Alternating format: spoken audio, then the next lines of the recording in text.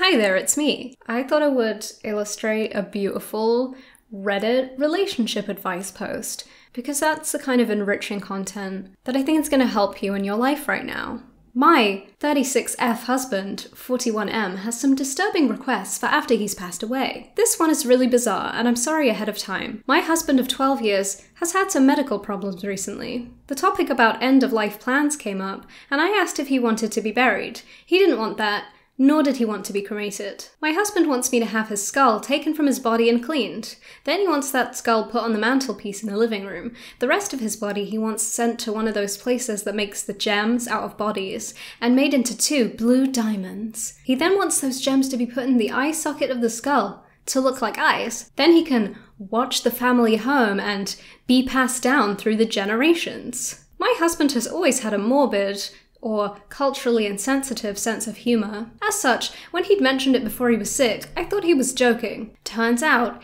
he is not joking. He even asked me to do it too so our skulls and matching eye gems can stay above the fireplace together. I adamantly refused. I tried talking to him, but he's firm that this is what he wants. I told him that it made me uncomfortable, but he said it was also for our kids to have, who are not currently old enough to weigh in on this discussion. I asked if this was his way of trying to live on with the family even after death, and he said, not really, no. I asked where he wanted the extra cremated remains from the gem company spread, and he told told me that he didn't want any remains, and to just have the biggest gems possible made and have the company dispose of the rest. I argued that he had no idea if his children would want the literal skull of their father. Further, which child would take the skull after I died? And in two or three generations, how would he.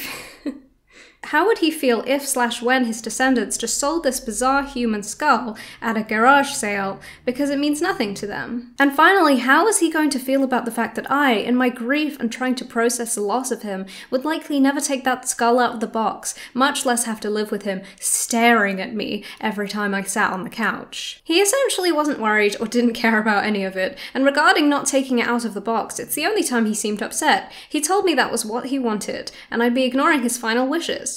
I told him that he didn't have to live with those final wishes for years to come, but it didn't matter. Part of me wants to get over my feelings, but I can't.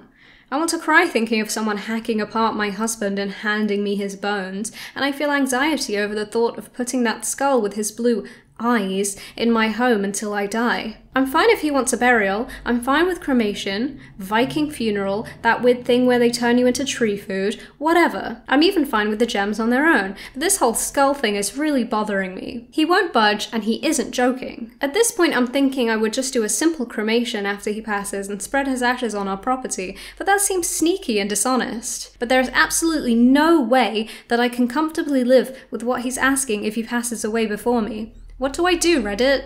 Too long don't read. My husband wants his final resting place to be on our fireplace mantle in the form of his literal skull. This is to be complemented by two gems in the empty eye sockets made from his corpse. I'm deeply disturbed by this. Help?